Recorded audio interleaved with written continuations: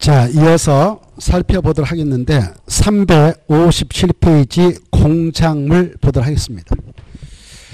이 공작물은 올해 그리고 작년 재작년에 기출된 바 있습니다. 공작물이라고 하는 것은 박스 안에 있는 것들인데요. 박스 안에 보시면 옹벽 담장 옹벽은 뜻 아까 말씀드렸죠. 강고탁, 강고판 이런 것들을 다 묶어서 공작물을 하고요. 이런 것들을 만든다 이걸 축조를 합니다. 축조. 뭐라 한다? 축조. 조자 만들 조거든. 쌓았을 축 만들 조에서 만들어서 싼다. 쌓아서 만든다 이걸 축조라고 그래. 이 축조를 할 때 바로 간청에다가 신고를 미리 해야 하는 경우가 있습니다. 그때 다 하는 게 아니고 이 규모에 해당하게 될 때만. 예컨대 담장의 경우는 여러분이 이렇게 담장을 축조한다, 싼다. 그럴 때 나정도의 키 정도로 쌀로 건다. 그때는 신고하지 않습니다. 2m를 넘게 축조할 때만 신고하는 거예요. 이해돼요? 몇 미터요? 2m. 2m까지는 신고하지 않습니다. 2m까지는 신고하지 않고 그냥 자유롭게 축조하면 되는 겁니다. 법에서 규제하지 않습니다. 2m를 넘게 축제할 때만 넘는다 이게 초과거든요. 그래서 2m는 포함되지 않습니다. 아시겠죠? 이때 신고를 어디다 하느냐 그 축제하고자 하는 지역을 권하고 있는 바로 특별자치장, 특별자치도사, 시장, 군수, 구청장한테 신고를 하게 돼 있어요. 동그라미 2번이 나와 있죠? 동그라미 2번면 다섯 명을 줄거 봐요. 동그라미 2번 찾았나요? 다섯 미터 밑줄 닦으시고 거기에다가 다 공작물 축조 신고서를 내는 겁니다. 그러면 그네들이 신고서 수리할 때 바로 설계도서 첨부서 내면은 바로 축조 신고했다라고 증을 줘요. 이걸 뭐라고 하느냐? 신고 필증이라고 그래. 뭐라 한다고요? 신고 필증. 동그라미 3번 나와 있죠? 공작물 축조 신고 필증 이렇게 돼 있죠? 필이 뭐냐? 필증할 때 필이 뭘까요? 한자로. 모르겠죠? 마치다 필입니다. 한자로. 마쳤다. 신고 마쳤다라는 증서를 주는 거예요. 이걸 신고 필증 그래. 필이 뭐다고요?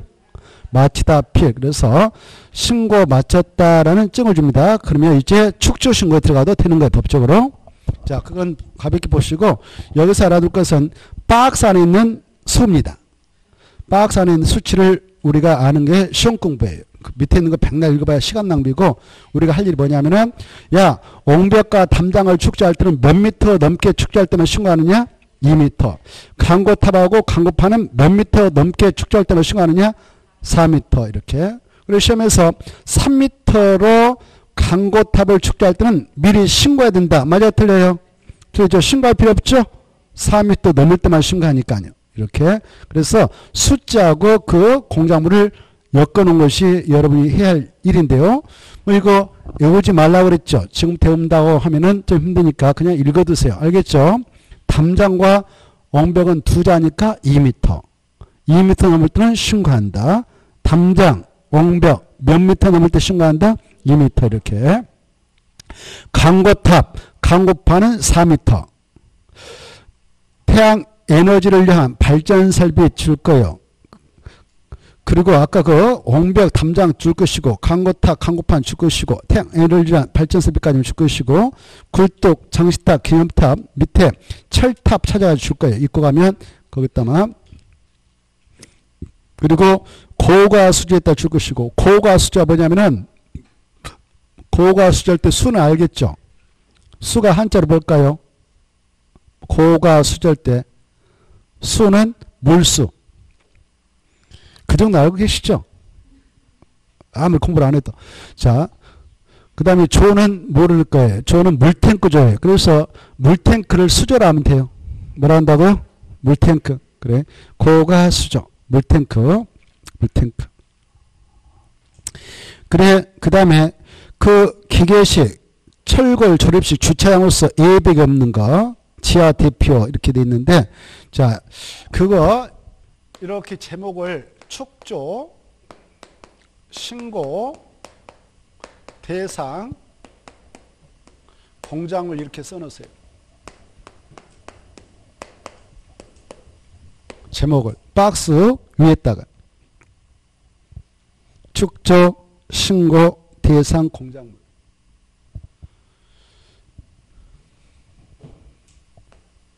그래 자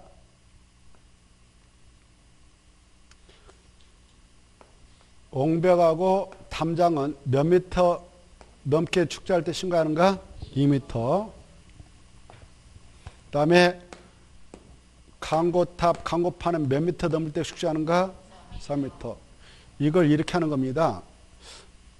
그냥 참고하세요. 그 화투판을 벌렸는데 이용담이라는 친구가 있어요. 이용담이가 사광을 했네요. 사광을. 몇 광 했다고요?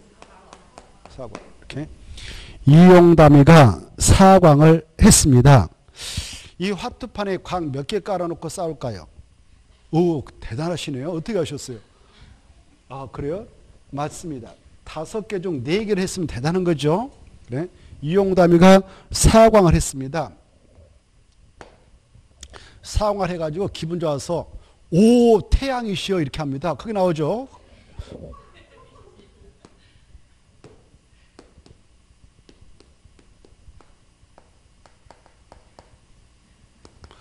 오 태양이시여 이렇게 할 것도 없잖아요 보니까.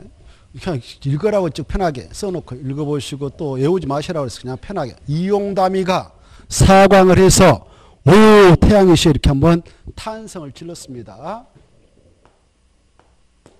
그리고 나서 이걸 팔까 흔들어버릴까 이렇게 고민을 하다가 팔기로 마음먹었습니다.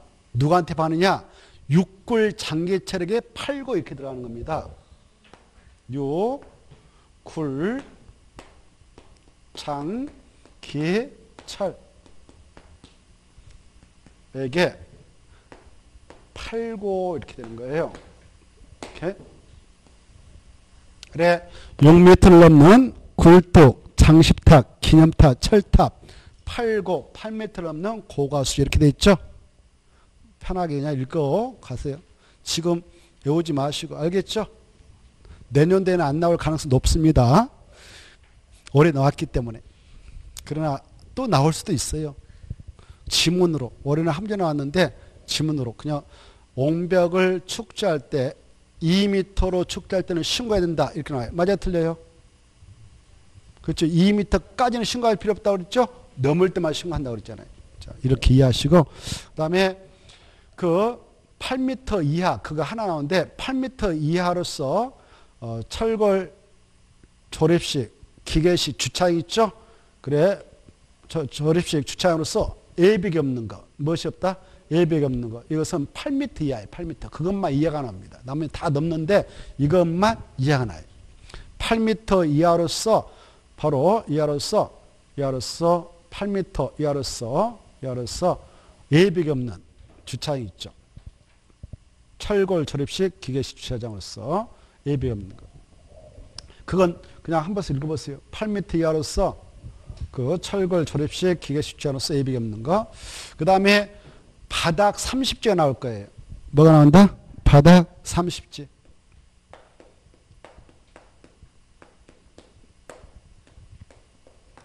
바닥 30, 바닥 면적 30점들 넘는 지하 대표. 이렇게 돼 있죠?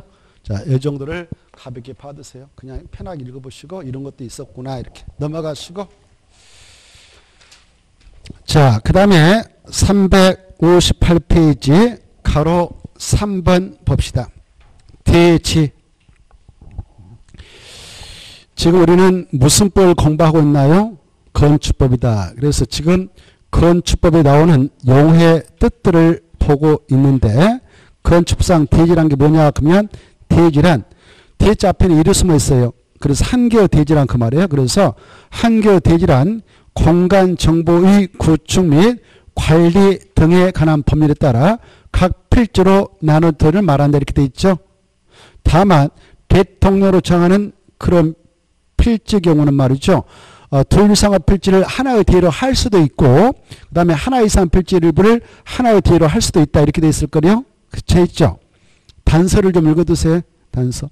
있다, 없다, 있다, 이 말. 있다. 자, 다음에 또 자세히 하겠는데요. 이렇습니다. 우리가 이 건축물을 건축할 때게요. 이렇게 하나의 대지를 준비했다.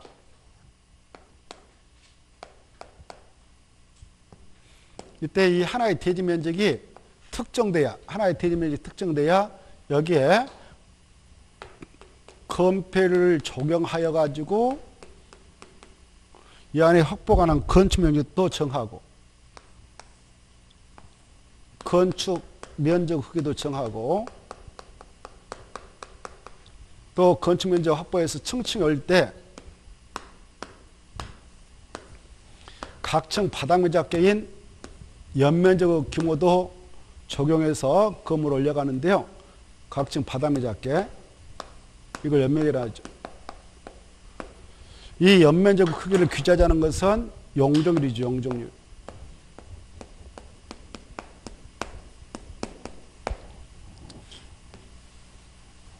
대전에 확보 가능한 건축 면적 크기를 규제하자는 것이 건필이죠. 그래 건폐라고 하는 것은 대지 면적에 대한 무슨 면적을 비름한다? 건축 면적의 비율. 비율은 계산할 때는 100% 써주면 되죠? 그래, 건폐율이란, 건폐율이란 대지 면적에 대한 건축 면적 비율. 했죠? 그래, 이 대지의 면적이 1000제곱미터다라고 가정합시다. 근데 이 대지에 적용하고 있는 건표를 채는 50배 이하다라고 한다면 이 대지 소재는 건축 면적 확보할 때 최대 얼마까지만 확보할 수 있는가? 5배 제곱미터까지만. 그렇죠? 이걸 초과하면 건표를 초과하는 것이 되어서 위반 건축이 될 것입니다. 아시겠죠? 만약 건폐를 채둔다가 20% 이하다 그러면 건축 면적은 200 제곱미터까지만 확보할 수 있고 나머지 800은 빈 땅으로 나눠야 되죠. 건축할 수 없는 거예요. 만약 이 대지의 건폐로 채둔도가 90%까지 허용된다 그러면 건축 면적을 900 제곱미터까지 확보할 수 있죠. 빈 땅으로 100만 나누면 되죠. 이게 건폐 지도라고 씁니다. 그 다음에 용적률은 바로 주어진 대지 속에서 확보 가능한 최대 연면적 크기를 규제하자는 것이라고 그랬죠. 용적이란 대지 면적에 대한 연면적 비율 곱하기 100% 하면 되죠. 아시죠? 이때 연면적이라는 것은 원래 하나의 건축물의 각층 바닥 면적 합기를 말하나 용적률 산정시 연면적에는 그 건축물에 이런 면적이 있다면 그 면적을 제한다. 지주, PP제 생각나야 안 나요? 날 거요? 지하층, 지상 부속용 주차장, 피해 안전구역, 대피공간 이렇게 네 가지 했다면 이건 제해서 계산한다 그랬죠? 자, 아무튼 이와 같이 건폐를 용료를 적용할 때는 하나의 대지 면적이 특정돼야 돼요. 그때 하나의 대지란 이런 것을 말한다라고 뜻이 규정되어 있단 말이에요. 그 뜻을 보자 그 말이에요. 이해됐죠? 그때 그 법의 이름을 알았어요. 무슨 법에 따라 각 필지로 나눠진 토를 말한다? 공간 정보의 구축 및 관리 등에 관한 법률. 그 법의 이름 아셔야 돼요. 우리가 땅을 하나 사고 판다, 중개를 해준다. 그때는 이렇게 일반적으로 어느 책에 땅 있는데 도면 보니까 어, 도로가 있어요. 도로가. 그리고 뭐 이렇게 땅들이 있어요. 도면상 일반적인 토는 지적대 이렇게 딱딱 토지의 경계를 표시해 놓고 있고 산은 임야들을 통해서 표시해 놓고 있죠. 그렇죠? 아직 공부 안 하셨죠? 다음에 이제 공부를 한. 아무튼 그래 이거 이것을 이렇게 이렇게 도면에 이렇게 표시되어 있다 그러면 이거 한 필지라고 한 필지. 몇 필지라고요? 한 필지. 필지 앞에는 아라비아 숫자 1이 숨어 있는 거예요. 한글 앞에는 1을 써도 되고 안 써도 되는 겁니다. 그래 아까 대지란 할 때 이것은 하나가 되지란 그 말이에요. 그한 개의 대지란 그 말. 알겠죠? 한 개의 대지란 것은 공간 정보의 구축 및 관리하는 범위에 따라 각 필지로 나눠진 토리 만다. 이게 바로 한 필지, 한 필지. 몇 필지다고? 한 필지. 그래서 한 필지를 하나의 대로 보는 것이 원칙이다. 그 말이. 여러분이 이 땅 한 필지를 하나 샀다. 중개됐다 그러면 이거 이 면적 대비 건폐를 적용하고 용적을 정해서 건물 치면 되는 거예요. 이게 하나의 대리가 되니까. 알겠죠? 이게 천정부터다. 그러면 천정부터다. 그러면 한 필지 사가지고 그 하나의 대로서 인정받아가지고 그 건물 지으려고 한다. 건필이 50% 이하다. 그러면 건축면적 500이 채되고 용률이 200% 정된다. 그러면은 바로 대지면적 천일 때게 이것을 두 배까지 이거 확보할 수 있으니까 2천까지 연면적 확보할 수 된다. 그 말이죠. 그때 각종 바닥 면적을 싹 합해서 2천까지 질 수 있단 말이에요. 그 바닥 면적 속에 지하층 있다면 그거 빼고 지상의 부속력 주차 때문에 그거 빼고 피나 안전구역 대평가 있다면 그거 빼고도 2천 중대까지만 건축이라는 것이 용적 제도라고 그랬죠. 그때 이 하나의 대라는 것은 이와 같이 한 필지가고 하나의 대가 되는 것이 원칙이다 그 말이에요. 이해되죠? 근데 왜 해가 있어? 이렇게 다섯 필지가 있는데 여기 봐봐요. 다섯 필지가 있는데 아파트 현대건설에서 이거 땅 저한테 다 사들여 버렸어. 사들여 가지고 이걸 여기다 바로 아파트 300세대 건축하겠다라고 바로 주택법상 그렇게 하겠다라고 할 때는 사업계획서를 받는다 이렇게 하는데 사업계획서를 받아서 일단 주택 부대 봉사를 넣겠다라고 승인을 받으면 그걸 한개의 주택단지라고 그래. 뭐라고 한다고요? 한개의 주택단지. 그래 이거 도면 보니까 다섯 빌지 다섯 빌지인데 여기다 아파트 아까 그렇게 다섯 동 지겠더라고 사업계획서 그러면 주택법상 이것을 한개의 주택단지라고 해. 뭐란다? 한개의 주택단지.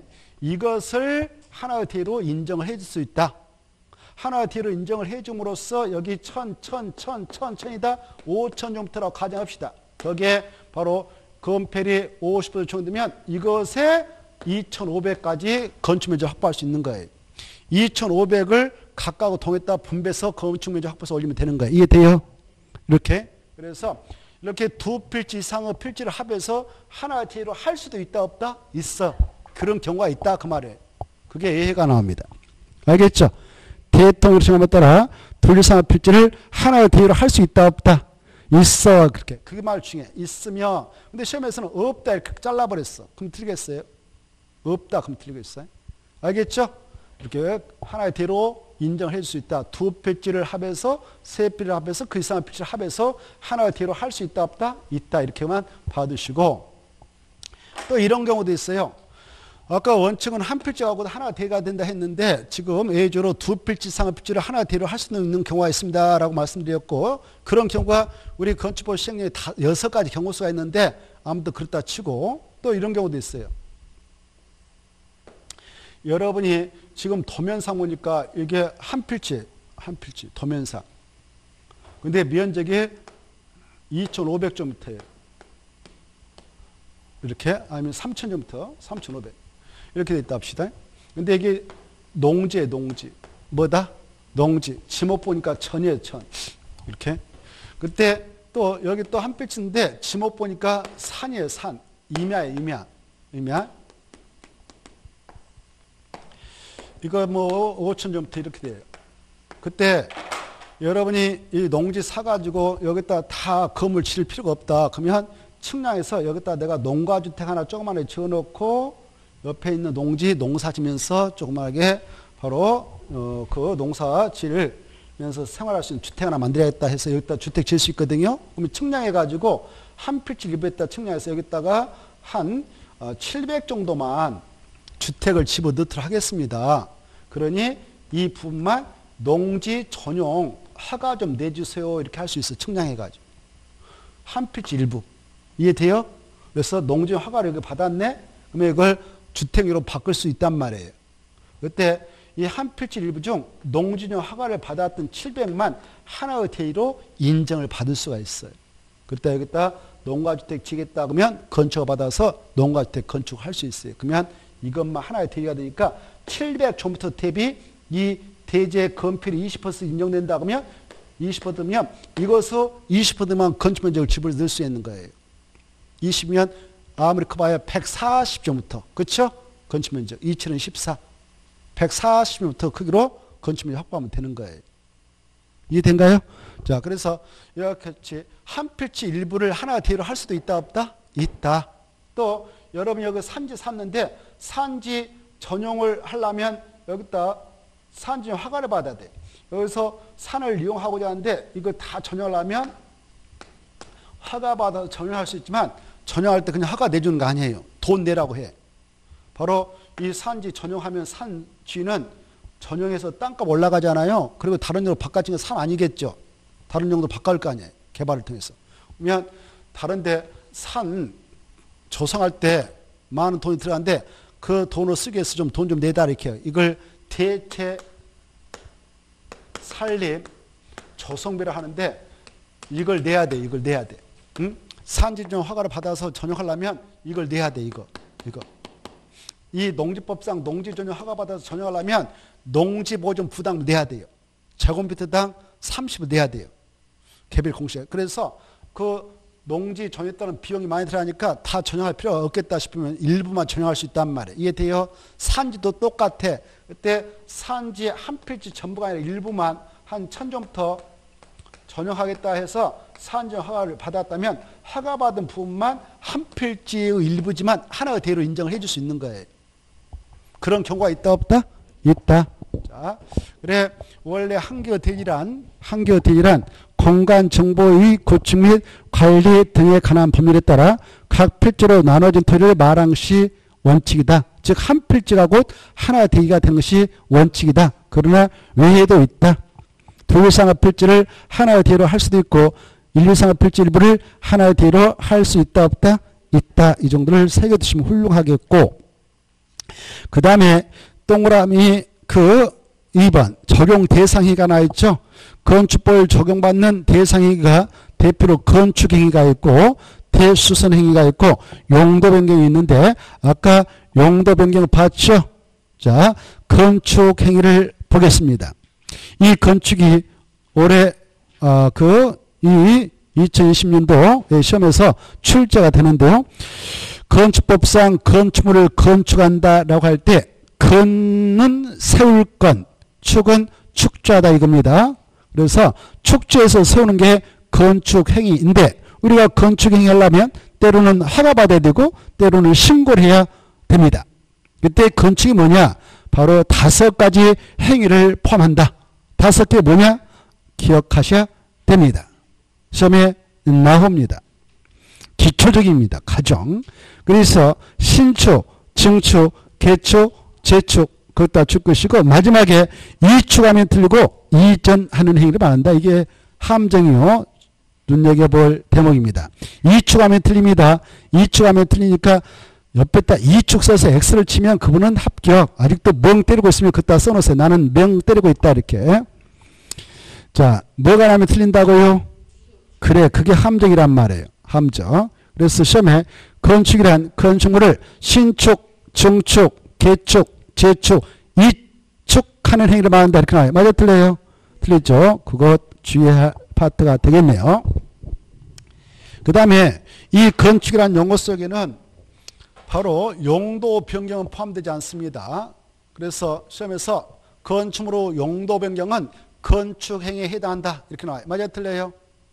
틀리죠? 건축에는 몇 개밖에 없다고요? 다섯 개. 뭔 뭐냐? 아까 있죠? 꼭 기억하세요.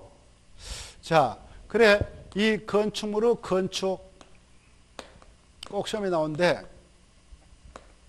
건축은 크게 다섯 가지 행위를 내포한다.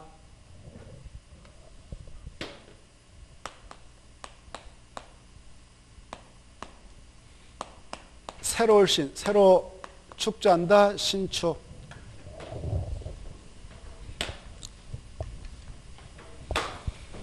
그 다음에 늘려서 축조한다, 정축. 철거하고 다시 세운다, 이걸 개축.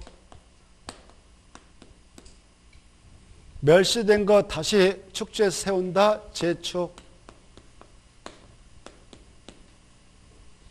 옴길이 구를 전 이게 이전인데 옮겨 굴려 세운다 이전 끝 이렇게 알아십시오 간단하죠 다섯 개 그래 이거 머리에다 넣으려면 신증 계제이 신증 계지만 건축행위에 속한다. 알아십시오. 신증 계지 그리고 이축이 아니다. 주의. 그 다음에 이제 시험꼼으로서 각각의 의미를 짝짓해서 알아두셔야 됩니다. 신축이 뭐이고 정축이 뭐이고 개축 재축 이제 무엇인가 이렇게 짝짓해서 알아두셔야 돼요. 쉬운 것부터 체크하면서 들어가겠는데요. 이 축부터 봅시다. 아, 이, 미안해. 이전. 이전. 이전부터 보겠는데, 아, 이 이자가 뭐, 무슨 이라고 그랬어요? 한자로. 옴길이, 전자는 구를 전, 이렇게 되거든. 자, 이전이라고 하기 위해서는 이래야 됩니다. 자, 이 기종원춤 있는데요. 이 기종원춤을 안에 주요 구조부가 있습니다. 뭐가 있다? 이 주요비를 해체하지 않아야 됩니다. 그게 중요해요. 그때 체크. 해체하지 않고 그말 중요해요. 해체하고 그러면 틀려버립니다. 해체하지 아니하고 그 다음에 이걸 이렇게 옮길 때요. 같은 대지, 기존에 건축물 썼던 그 같은 대지 안에서 옮겨야 돼요. 같은 대지에서 위치만 옮기는 것을 이전한다. 이거. 이게 주요 구조부를 해체하지 않고 같은 대지에서 위치만 옮기는 것을 이전한다. 그래서 만약 이 다른 대지가 이렇게 있는데 다른 대지로 이걸 옮겼다. 다른 대지로 그러면 절대 이전 아닙니다. 어디로 옮겨야 된다고요? 같은 대지에서. 이게 아주 중요한 말이에요. 같은 대지. 만약 다른 대지로 옮겼는데 이 대지가 나 대지했다. 깨끗한 대지했다. 여기다 깨끗한 대지다 옮기면 이건 신축이 돼요. 신축. 근데 기존에 건축물 있었던 대지로 이렇게 옮겼다 그러면 정축이 되는 것이고 그냥 나대지 옮기면 신축이 되는 것이지 이전이라 하지 않는다. 이전이 되기 위해서는 두 가지 요건을 꼭 확인해야 된다. 반드시 주요 구조부는 해체하지 말 것. 해체하지 않고 그 다음에 같은 데서 옮겨야 된다. 이렇게 두 가지. 알겠죠? 간단하죠? 이때 옮기는 방법은 시험에 안 나옵니다. 그래서 어떻게 옮기는가요? 이것은 질문하지 마세요. 이렇게 물어보신 분이 지금까지 강의하면서 세 분 들어 있었는데 그분들 다 떨어졌어요. 예, 가르쳐 준 것도 지금 머리 늦게 바빠 죽겠는데. 자, 다만 그래도 공부해 죽겠는데요. 그럼들 중장비로 옮기면 돼요. 중장비로. 그 다음에 이제 정추로 합니다. 이 정자가 늘리다 정입니다. 한자로. 늘리는 것을 말하는데요. 이때 정축이라고 하는 것 이렇게 기존원춤을 있습니다. 이렇게 늘릴 수도 있는 것이고 이렇게 늘릴 수가 있겠는데 늘 때 네 가지 중 하나를 늘리면 정축입니다. 네 가지를 기하는 것이 시험입니다 뭘까요? 동그라미 쳐놓으세요. 건축 면적 하나, 연면적 둘, 층수 셋, 높이 넷. 이걸 기하지 못하면 이건 맞힐 수가 없습니다. 그래서 자 건축물을 썼는데 그 건축물의 건축 면적을 늘리거나 연면적을 늘리거나 층수를 늘리거나 높이를 늘리면 증축. 네 가지 하나 알겠죠? 시험에 나왔네요. 맞은가 보세요. 창문 틀을 늘리는 것은 증축이다. 창문 틀 없죠? 기억하시라고 그랬죠? 네 개를 똥하셔가지고 네 개를 머리다 넣는 것이 시험 공부다. 만만치 않죠? 이렇게 나오면 마지막 봐요. 기둥을 두 개 늘리는 것은 증축이다. 맞아 틀려요? 기둥 없잖아요. 자, 네 개를 머리다 넣으라 그랬죠? 그 다음에 이제 이 개축하고 재축을 묶어서 비교 이렇게 쓰세요. 비교. 그래 이 개축 뭐고 재축 뭔가 이걸 비교하시란 말입니다.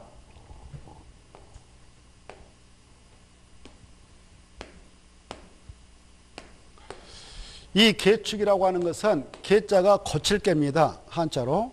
그래 인간이 기존고침을 썼는데 이렇게 기존고침을 썼는데 이걸 고치기 위해서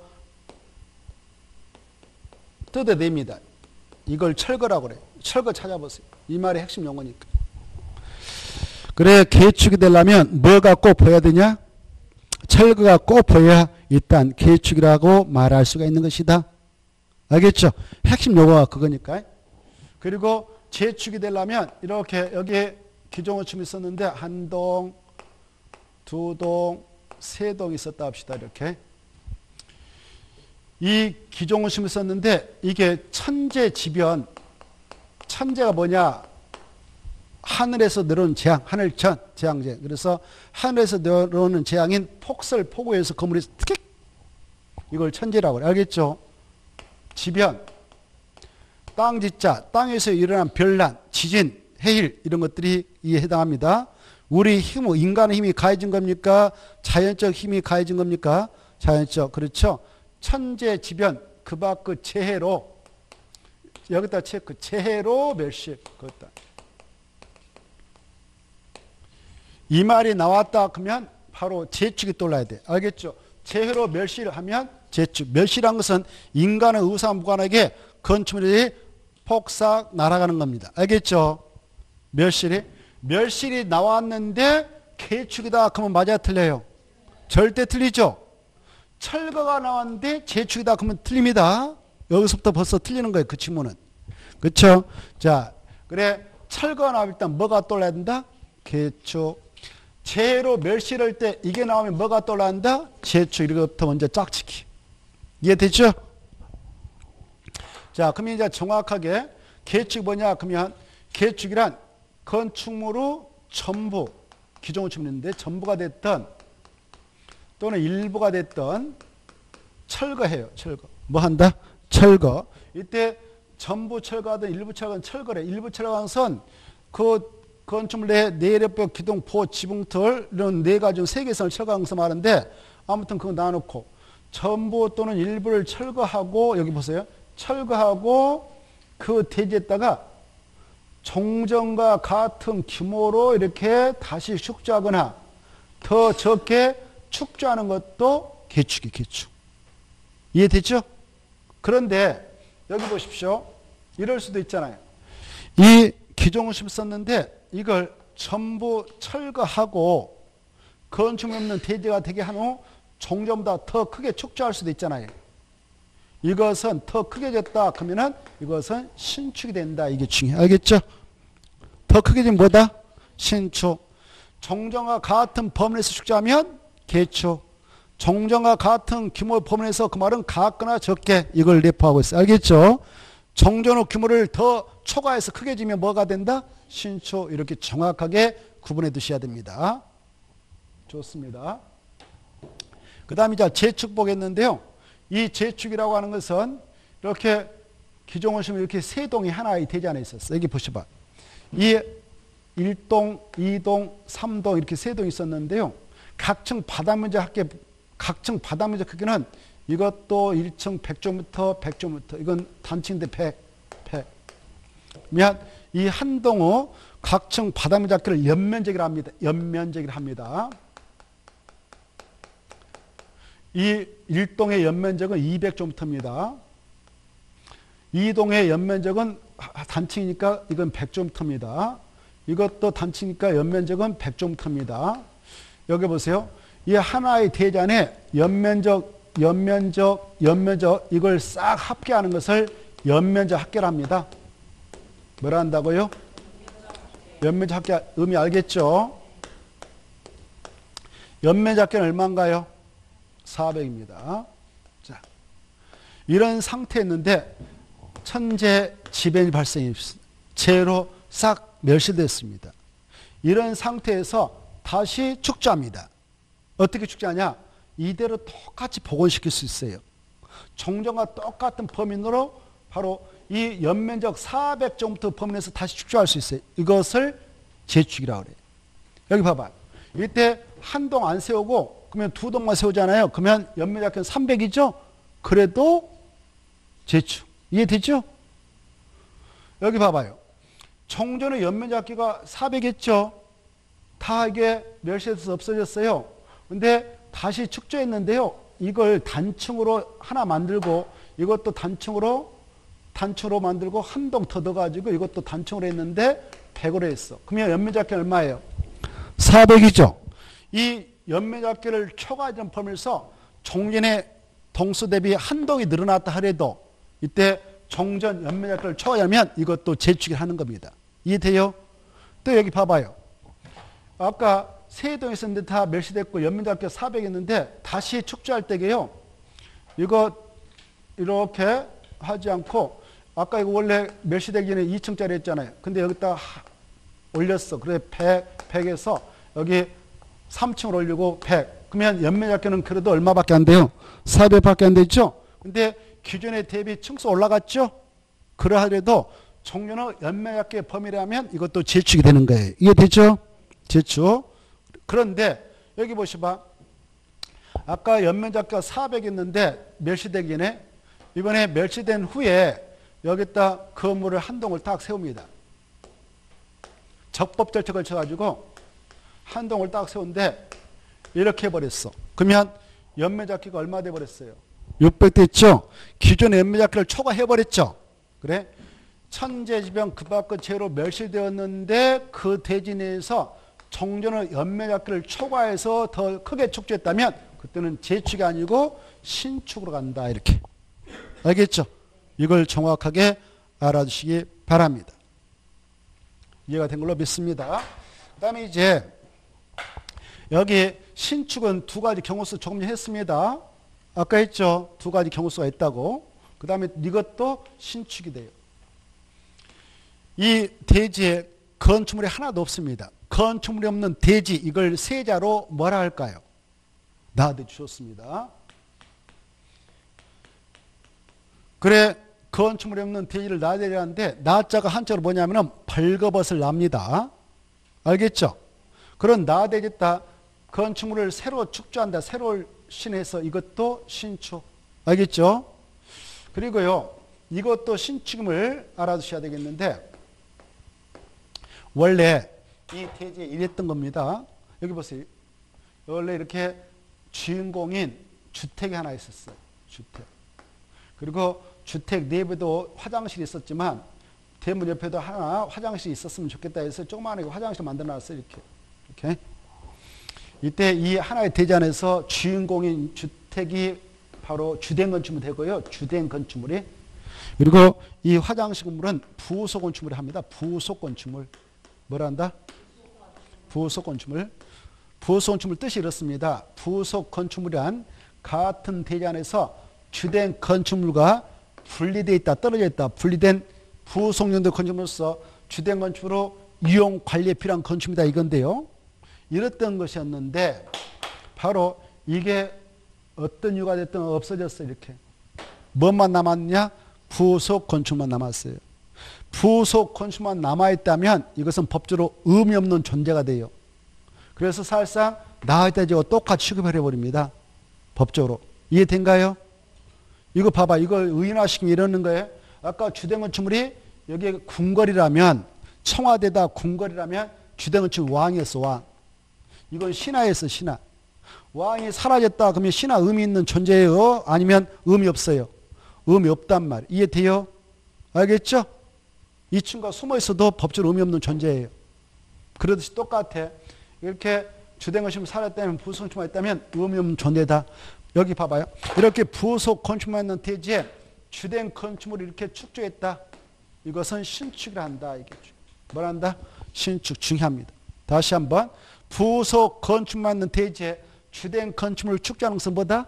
신축. 증축이다. 그러면 틀려요. 신축이다.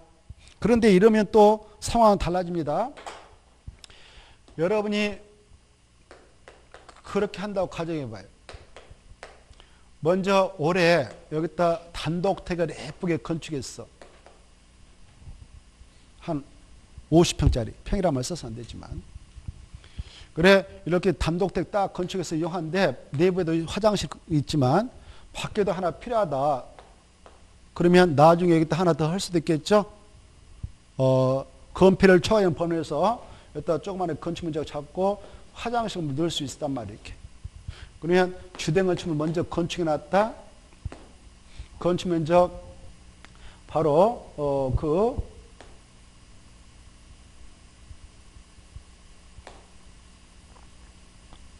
건축물 50평 잡아놓고 평이라만 써서 안 되지만 아니면 그냥 300 잡아놓고 300 정도. 그리고 나서 나중에 여기다 부속건축을 축제한다. 나중에 부속건축을 축제하면 하나의 대지 안에서 건축 면적을 증가시키는 행위가 되니까 이때는 증축을 하는 거 증축. 주된 건축 먼저 들어서 있고 나중에 부속건축을 축제하면 뭐라 한다고요? 증축. 근데 부속 건축만 있는 대지에 주된 건축물 축제하는 뭐다? 신축 좋습니다. 여기까지. 여기서 알아둘 것은 이 정도. 알겠죠? 자, 그래 다시 한번 정축이란 정축이란 기존건축이 썼는데 기존건축의 건축면적, 연면적, 충수, 높이를 늘리는 것. 그 다음에 이절이란 기존건축이 썼는데 기존건축의 주요 고집을 해체하지 않고 같은 태지 안에서 그 위치만 옮기는 행위를 말한다.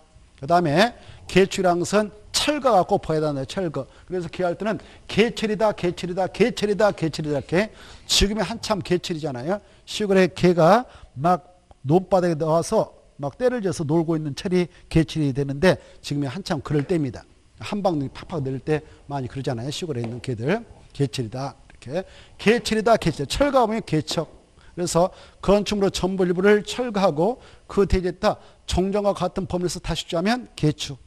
전부 철거하고 종전보다 더 크게 축제하면 신축. 자, 재축이라는 것은 바로 기존 건축물이 천재백 그 밖의 재해로 멸시되었고 그 대지에다 종전의 연매작계 범위에서 다시 축제했다면 설령, 동수, 층수, 높이 중 어느 하나가 좀 초과했더라도 건축법령에 맞게 다시 축제하면 재축이지만 이걸 초과했다. 천재병 그 밖의 재해로 멸시된 그 대지에서 종년의 연면잡기를 초과해서 더 크게 되면 신축. 건축물 없는 나대지에 새로 건축물 축장도 신축, 부속 건축물 있는 대지에 주된 건축물 축장도 신축이다. 여기까지를 알아두시기 바랍니다. 자, 그 다음에 이제 이런 건축 행위를 할 때 우리 일반 사인들은 허가 받을 것은 허가 받아야 되고 경한 것은 신고하면 됩니다. 그리고 국가하고 지자체는 건축에 따른 협의를 허가권자에게 가서 하독되어 있습니다. 이런 것들을 다음에 공부할 거예요. 자, 그 다음에 이제 대수를 보겠는데요.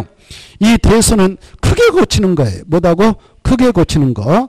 이 대선도 바로 오른쪽에 여덟 가지 행위가 있습니다. 여덟 가지. 몇 가지가 있다고요? 여덟 가지. 그래, 바로 그거 보면 다가구택의 가구간 경계벽을 다주택의 세대한 경계벽을 정설하거나 해체하거나 수선편 것도 대순이고 내래벽을 정설했지 그 벽면적을 3층부터 이상 수선편 것도 대순이다. 기둥 한 개를 정설했지도 대선 수선하고 평할 때 세 개 이상 해야 돼요. 몇 개 이상? 세 개 이상. 이런 것들을 다 묶어서 뭐라 한다고요? 대수선 이렇게 일단 받으시고 넘어가셔서 쭉 넘어가셔서 저 뒤에 용어 요청이 몇 개를 좀 보고 마치겠다 이건데요. 371페이지. 371페이지 보시면 371페이지. 용어 요청에서 지하층, 거실, 주요 구조부 나와 있죠? 찾았나요? 자, 거기 보시면 지하층의 정의가 나옵니다. 이건 시험에 나오니까 좀 잘 알아두십시오. 371페이지. 지하층 371페이지. 그리고 거실 3번 주요주부. 특히 주요주부는 별표 5개가 들어가야 돼요. 지하층하고요. 지하층. 그래 이런 것들은 시간 있을 때 자주 읽어가지고 자기 것이 되도록 하면 좋겠습니다. 371페이지 찾았나요? 그것만 보고 마치도록 하겠습니다.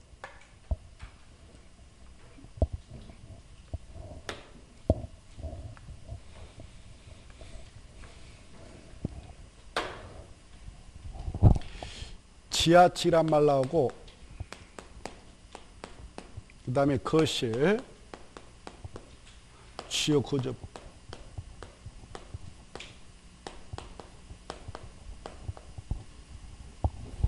먼저 주요 구조부터 체크해 볼까요? 주요 구조부 아, 이 건축물을 구성하는 부분 중 중요한 부분이 주요 구조부가 되겠죠?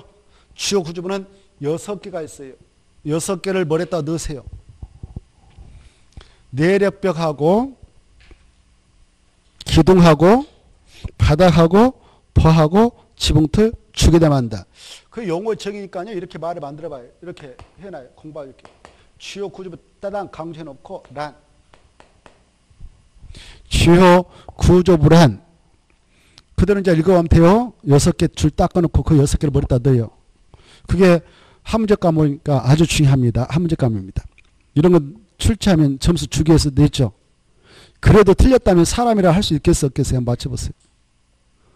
어렵겠죠? 그렇죠? 너무 쉬운데. 자, 그래 그걸 내래벽을 때 내다 동그라미, 기둥할 때 기동그라미, 바닥할 때 파, 포할 때 포, 그 다음에 지붕틀, 주계단 할때 이렇게 동그라미치 머리자 이걸 머리자로 머리다 넣어야 시험장에 써먹지 그러면 못 써먹어요. 아무 필요 없어요. 머리 자 해가지고 그래 기할 때 뭐라고 하냐? 뭔 멋을 내게 한다 이런 말 하잖아요 우리가. 내게 하자 이렇게 내게 하자 할때 내기 내게 하는 친구들 보면 어떻게 머리가 똑똑한 애들이에요 멍청한 애들이에요? 그거 나오죠 바보라고 나오잖아요. 내기 바보. 내게 하는 친구들 바보들 많아요. 바보들. 주로 이 바보들 중에는 누가 또 바보들 많냐? 땅만 몽땅 가지고 있는 땅거지들. 그게 바로 지주거든. 그래 그래 내기 바보 지주 내기 바보 지주 내기 바보 지주 암기할 때 이렇게. 뭐라 한다? 내기 바보 지주 내기 바보 지주. 그래 저한테 강의 받으신 분들은 다 이렇게 해서 들어갔습니다. 그리고 문제 나면 1초도 안 걸렸다고 그래요. 1초도. 그래 이걸 이렇게 하지 않으면 써먹지 못해요 시험장에서. 뭐라 한다? 내기 바 보 지 주. 자 이제 뜻은 이래요. 봐봐 이 건축물을 건축할 때 벽이라는 게 크게 두 가지가 있어요. 어, 설계 도서상 철근 가운데다 두고 리모컨으로 콘크리트 쳐버리라. 그래서 건물이 무너지지 않도록 힘을 받도록 하자라는 벽이 들어갑니다. 그 벽을 내려벽. 그래 그냥 내려벽 하지 않고 벽 하면 틀려겠어. 벽 하면 주요 구조부 아니에요. 뭔만 기다고요? 내려벽.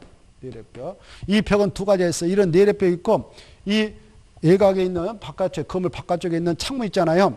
창문 피리처럼 뜯어가지고 벽돌 쌓고 미장구에서 벽을 만들 수 있어. 이런 벽은 힘을 받지 않는 조적벽으로서 비내력비라고 그래. 그런 것들은 주요 구조부가 아니에요. 알겠죠? 뭔만 기다고요? 내력벽만. 그 다음에 기둥 있죠? 기둥. 이 건물 세울 때 설계 도면을 보면 이렇게 기둥 세우도록 딱 됐단 말이에요. 기둥과 기둥은 바로 주요 구조부예요. 근데 이 기둥, 기둥이 이렇게 양쪽으로 벌어지면 건물 붕괴되죠. 그래서 건물이 붕괴되지 않도록 기둥과 기둥을 기둥을 물어주는 게 들어갑니다. 이게 보라고 그래. 그래서 기둥하고 보는 주요 구조부라 그래. 그런데 이 기둥과 기둥과의 거리가 멀면은 이게 보가 끊어질 수가 있단 말이에요. 그래서 이 받쳐주는 기둥이 하나 들어가요. 이걸 사익 기둥이라고 그래. 뭐라 한다고요? 사익, 사익 기둥은 주요 구조부 아니다. 그냥 기둥만 기다 이게 중요해. 알겠죠? 사자 없잖아요. 그 다음에 여기 기둥 넣었다 또 기둥 넣었다 이거 주요 구조부죠. 벌어지지 않도록 보 들어간다. 근데 보 넣고 기둥 딱 해놨어. 근데 이쪽으로 넘어가고 저게 저로 넘어가다 그러면 이거 건물 또 붕괴되죠. 그래서 보와 보가 벌어지지 않도록 여기다 또 물어주는 보가 들어가. 이걸 작은 보라고. 이거 봐봐요. 보와 보를 물어주는 보가 들어간다. 이게 뭐라고? 작은 보. 작은 보는 주요 구조부가 아닐까? 아니다. 알겠죠? 아니다. 포만 기다. 그 다음에 이건 바닥에 바닥. 이 건축물 건축할 때 여기 땅바닥 있다. 1층 바닥에 들어가죠. 2층 바닥, 3층 바닥, 4층 바닥 이렇게 들어가. 바닥, 바닥, 바닥은 주요 구조부예요. 근데 땅바닥에 붙어있는 이 바닥을 최하층 바닥이라고 그래요. 최하층. 최하층 바닥은 더 이상 꺼질 일이 없잖아요. 그래서 바닥 중에서도 최하층 바닥은 주요 구조가 아니다. 이게 중요해. 알겠죠? 그 다음에 지붕을 올리기 위해서 틀을 넣어. 지붕 틀은 틀은 주요 구조부면 지붕은 아니다. 이걸 주의하시고 그 다음에 이 계단 우리가 지금 이용하는 이런 계단 있잖아요. 그걸 주계단이라고 그래. 주계단은 주요 구조인데 여기 봐보세요. 건물을 한자로 옥이라고 그래. 건물 위를 옥상이라 하죠. 건물 안을 옥내라 하죠. 건물 밖을 뭐라고 그래? 옥이라 하죠. 옥에다 설치하는 계단이 들어갈 수 있어 이렇게 이걸 옥의 계단이라는데 옥의 계단은 주요 구조반이다. 주계단이다. 이걸 주야 돼. 그리고 해가 들어오지 않도록 막아주는 시설 들어갈 수가 있어. 이걸 차단시킨다. 태양량자. 이걸 뭐라고 그래? 차양. 차양은 주요 구조보다 아니다. 아니다. 이렇게. 그래서 구조는 내래뼈, 기둥, 바닥, 보, 지붕들 죽여 다니는데 약조를 뭐라 하죠? 우리끼리? 내기, 바보, 지주, 끝. 이게 함재값이니까 꼭 받으시고 거실. 아까 우리가 거실이라는 용어를 접했잖아요. 아, 그 6층인 건축물로서 각층 거실 바닥 면적 300제곱미터 이내마다 1개소 이상의 지통에다 설치했다면 승강기 설치할 의무 면제된다 그랬죠? 그때 거실이 뭐냐? 거실은 이 같은 건축물 안에서 다섯 가지 용도로 쓰고 있는 방이면 다 거실이에요. 거주 목적 하나, 그 다음에 오락 목적, 작은 목적, 직무, 집회 목적 이렇게. 그래서 암기 그다 써놔요. 그 오작집. 그 오작집 이렇게 하나 써놔요. 야 거실 뭐야? 그러면 그 오작집이지? 그러면 끝나. 뭐라 한다고요? 그 오작집. 그리고 연상하면 돼. 연상. 그 오작집. 알겠나요? 거실이 뭐다? 그 오작집. 시험에 나왔네요. 거실이란 건축물 안에서 거주 목적으로 사용되는 방만을 말한다. OX. 들렸죠? 만자가 들으면 틀린단 말이죠. 그러면 거실이란 거주 목적으로 사용되는 방을 말하지만 오락 목적으로 사용되는 방은 거실에 해당하지 않는다. 그럼 맞아 틀려요? 틀리죠? 오락 목적으로 사용되는 방, 직무, 집회, 작업 목적으로 사용되는 방도 다 거실로 본다. 여기까지. 됐죠? 지하층은 설명을 많이 요합니다. 겹들여서 그래서 오늘은 설명을 많이 해야 되니까 여기서 중단시키고 다음 주에 지하층을 보도록 하겠습니다. 아시겠죠? 거기다 표시해 놓고 지하층 하자 다음 주 이렇게 말씀해 주세요. 오늘이 12월 6일 했죠. 그래서 거기 지하층부터 다음 주 보겠습니다. 자, 오늘은 여기서 마무리 짓고 질문 있으면 질문 받고 마무리 짓죠. 없습니까? 없으면 마치죠. 자, 수고하십시오. 안녕하십시오.